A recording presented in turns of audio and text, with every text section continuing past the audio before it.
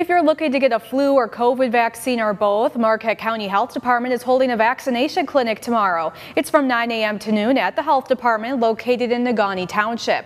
Walk-ins are accepted, but they do encourage making an appointment ahead of time. For faster service, they say you could visit their website, mqthealth.org, to fill out a consent form. Then you can print it, sign it, and bring it with you along with your ID and insurance cards.